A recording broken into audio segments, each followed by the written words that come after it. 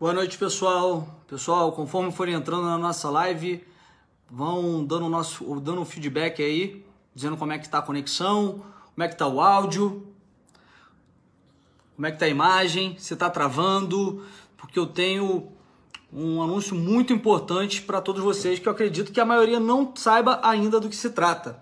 Não saiba do que se trata.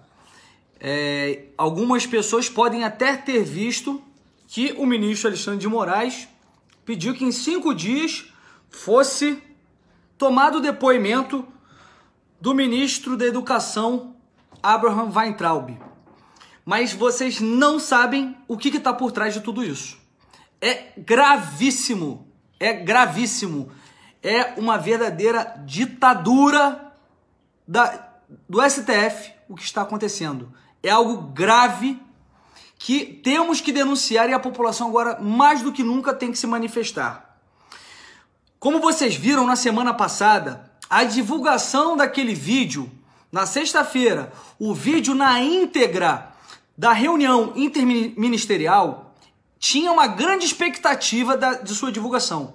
Muitas pessoas questionavam o que está por trás desse vídeo, e eu era contrário à divulgação do vídeo, porque apesar de eu saber que essas reuniões não há nada de mais, nada de ilícito, são questões de governo, questões que são tratadas fechadas e não são assuntos que são tratados livremente. A reunião, quando ela é tratada fechada, ela tem um tom. A reunião, quando é tratada em aberto, ela tem um outro tom. E as pessoas queriam muito, na verdade, o STF alegava que deveria ser mostrada a reunião na íntegra. A oposição queria muito que fosse colocada a reunião na íntegra, pedia para que fosse colocada a reunião na íntegra, isso porque a oposição, todos sabemos, que eles querem ver o Brasil se desgraçar, eles querem ver o, governo se desgraçar, eles querem ver o governo ser destruído. Então, qualquer coisa que poderia acontecer ali, que tivesse ali de mais secreto e que de repente fosse colocasse alguma pulga atrás da orelha, seria bom para a narrativa deles para atacar o governo. E isso ficou muito claro. O ex-ministro Sérgio Moro também queria que fosse divulgado na íntegra. E sinceramente, como eu disse, eu era totalmente contrário. Porque isso pode abrir um precedente muito perigoso para as nossas instituições. Reuniões são do governo, são fechadas. Se não, a partir de um, de um dado momento, todas as reuniões então agora têm que ser feitas abertas. Existem coisas que são conversadas entre apenas os membros do governo. Questões que muitas vezes nem mesmo os deputados da base do governo participam, mas insistiram muito e aquele vídeo, no final das contas, foi muito positivo para a imagem do presidente. Um vídeo em que o presidente, apesar, a despeito de todos os palavrões, palavrões em que talvez a galera mais prudente, sofisticada, tenha ficado horrorizada, mas ele ali demonstrou uma defesa intransigente das bandeiras que todos nós já conhecemos, que foram as bandeiras que elegeram o presidente Jair Bolsonaro. As bandeiras de família, do armamento da população, do livre mercado, da liberdade de expressão, de todas aquelas que eram sempre levantadas por Jair Bolsonaro no seu período como deputado e que fizeram com que a população votasse nele. Jair Bolsonaro saiu daquela da divulgação daquele vídeo revigorado, saiu forte, fortalecido. Os ministros Weintraub, os, a ministra Damares, diversos ministros ali fizeram também defesas firmes do governo e também das pautas que interessam ao Brasil, da moralidade, atacando aqueles que muitas vezes, muitas vezes usurpam as competências as demais competências, como faz o STF. E aí eu fiquei me questionando, por quê? Porque fato estariam querendo divulgar aquele vídeo, quem teve acesso inicialmente era apenas o STF. A oposição não sabia, deram um tiro no pé. O STF, eu fiquei me perguntando, o que, que o STF viu demais na divulgação daquele vídeo? O que, que o, o, o STF viu demais naquele vídeo na íntegra para que fosse divulgado daquela forma. Será que eles não perceberam que ali eles apenas estariam fortalecendo o presidente Jair Bolsonaro, estariam fortalecendo o seu governo? E aí eu comecei a me questionar. Me veio na cabeça, ainda no sábado isso, logo após, me veio na cabeça uma possibilidade. E agora eu estou ligando os pontos e estou chegando a essa conclusão. Me passou na cabeça o seguinte: bom, o STF é, são semideuses, né? Eles são os deuses, na verdade. Mané semideuses, eles são os deuses. Isso é o poder indestrutível, intocável, irretocável. As pessoas não podem mexer neles, eles não podem nada. Né? Eles, aliás, ninguém pode fazer nada com eles, eles podem tudo. Inclusive, eles são maiores até que os outros, os demais poderes. Né? A gente vê que, por exemplo, deputados muitas vezes podem ser presos por questões de corrupção, tudo mais, é, ex-presidente. Agora, ministro do STF, jamais. Eles jamais poderiam ser presos. E aí eu fiquei pensando, o ministro Weintraub, ele fez uma fala muito contundente contra o STF. Ele, ele fez uma fala firme contra o STF. Ele fez uma fala, na verdade, contra toda a imoralidade que ocorre em Brasília. Até algumas pessoas quiseram é, distorcer a fala dele, dizendo que ele estaria falando que Brasília era um cancro. Na verdade, o que ele quer dizer é que as, as instituições políticas aqui em Brasília carregam, estão dominadas por cancros. Brasília é uma cidade que, embora tenha muita gente boa, a gente sabe que aqui é um antro de corrupção. Isso é fato. Sempre foram em outros governos. O governo PT cansou de fazer com que isso se potencializasse. Brasília se tornou realmente isso. E ele falou a respeito disso, que Brasília se tornou um cancro, é, e falou que por ele ele tinha que mandar a gente começar a prender todo mundo, a começar pelos pelo STF. E aí eu comecei a pensar, foi por isso que eles estavam divulgando o vídeo. Eles estavam divulgando aquele vídeo porque eles queriam ter uma prova que fosse conhecida nacionalmente, isso ganhar repercussão repercussão no mundo jurídico e tudo mais, para que eles pudessem ter justificativa para punir, para fazer como punição exemplar o ministro Weintraub. E é isso que aconteceu. É isso que aconteceu. Vejam bem, ministros queriam a divulgação de uma reunião interna em que um ministro de Estado falava sua opinião sobre os ministros do STF e eles querem prender o ministro por isso. Eles querem prender o ministro por isso. E vocês vão ver, de acordo com a decisão que está aqui no site do STF, que eles querem prender o ministro Weintraub por conta de suas falas. Isso é um absurdo. É uma verdadeira ditadura. Porque se eles querem prender o ministro por conta de uma reunião fechada, interna, você, cidadão, que tem verdadeira ojeriza, nojo do STF, se você estiver falando alguma coisa parecida, você pode ser preso também. Você poderá ser o próximo.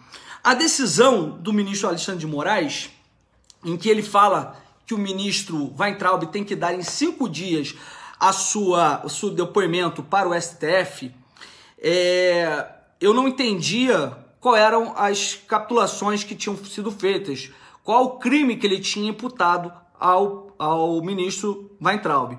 E aí você vê aqui, ó, tô no site do STF. Tô no site do STF, tá vendo, ó? Site do STF. E eu vou ler para vocês o, qual é as questões que estão sendo levantadas contra o ministro. O ministro Alexandre de Moraes, do Supremo Tribunal Federal, determinou que a Polícia Federal tome, em no máximo cinco dias, o depoimento do ministro da Educação, Abraham Weintraub, para que ele explique as declarações feitas na reunião ministerial do último dia 22 de abril. A decisão proferida no inquérito 471 4781, que investiga ataques verbais à corte e seus integrantes e a disseminação de notícias falsas, se baseia no laudo da Polícia Federal, produzindo no âmbito do inquérito 4831, que é aquele que investiga é, todas as questões de disseminação de fake news contra os membros do STF, de relatoria do ministro Celso de Mello, em que foi analisado o conteúdo da reunião e reproduzidas as declarações em que Weitraub se refere aos ministros do STF como vagabundos que mereciam ser presos. Segundo o ministro Alexandre de Moraes, as declarações são gravíssimas e não só atingem a honorabilidade dos integrantes da corte, como também representam ameaça ilegal à sua segurança, numa tentativa clara de lesar a independência do Poder Judiciário e a manutenção do Estado de Direito. Há, portanto, desses isso já nas aspas. Há, portanto, indícios da prática dos delitos tipificáveis nos artigos 139 e 140 do Código Penal. Isso é difamação e calúnia. Beleza, tranquilo, pá. 139 e 140 do Código Penal, bem como nos artigos 18, 22, 23 e 26 da Lei 7170 de 1983.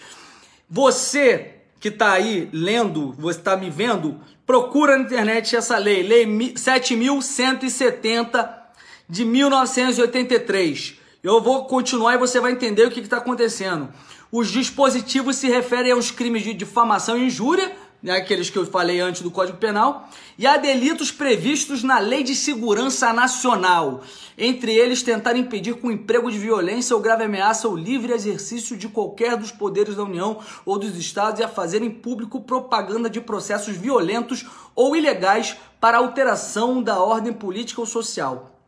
O ministro facultou ao Procurador-Geral da República, Augusto Aras, o direito de acompanhar o depoimento de Weintraub e se manifestar em relação às providências cabíveis para o prosseguimento da investigação. Gente, isso aqui é gravíssimo. É gravíssimo.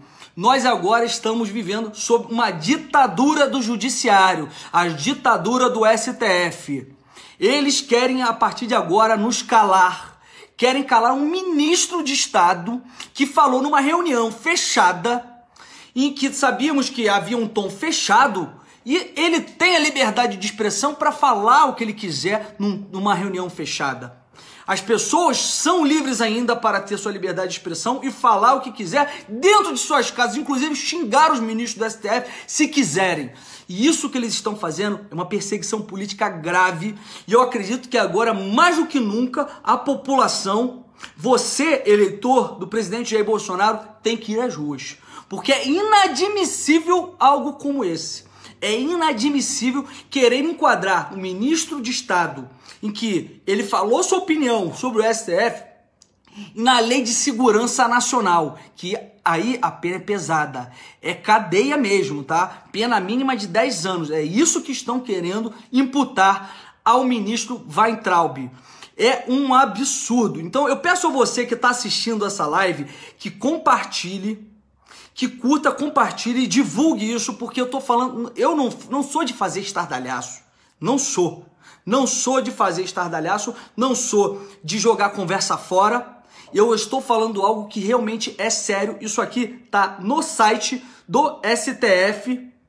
Tá no site do STF.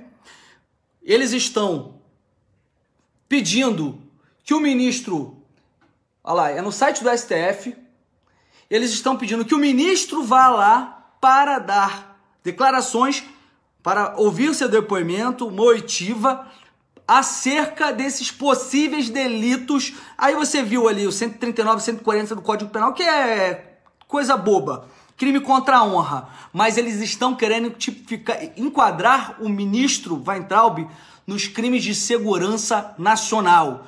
É grave o que está acontecendo nesse momento contra as instituições, contra o governo Bolsonaro e contra a sociedade a partir de uma decisão totalitária do STF na figura do ministro Alexandre de Moraes. Peço a todos que protestem, se manifestem, façam a divulgação desse vídeo, façam mais pessoas conhecerem a verdade sobre isso.